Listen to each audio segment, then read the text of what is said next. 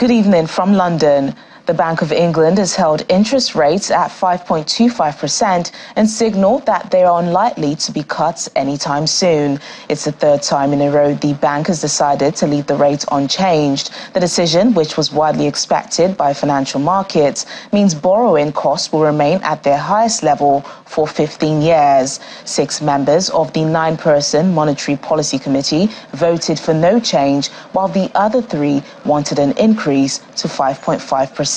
Our job is to achieve the 2% inflation target sustainably. Now, we're making good progress. Inflation has come down from 11% to where it is today, four, just over 4.5%, and it will come down further. But we have to achieve it sustainably. So there is more to do. So I'm encouraged by where we are, but we have got more to do to get to that target, and that's what we will do. Meanwhile, the European Central Bank has followed in the footsteps of the Bank of England and the US Federal Reserve, keeping interest rates on hold at 4.0% for its final meeting of 2023.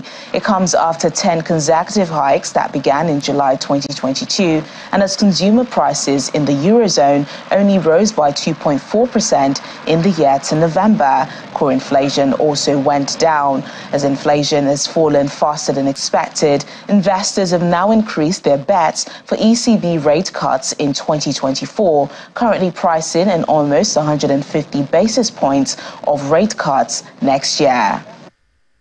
Meta's social media app Threads is launched in the European Union five months after its release in other parts of the world. It launched to much fanfare as a rival to Elon Musk's X, formerly Twitter, but it was not made available in the EU, which has strict rules around data and big tech. Meta is hoping it will drive interest in the platform, which gained more than 100 million users in its first week before those numbers drifted down. And those are your main stories from London at close of business.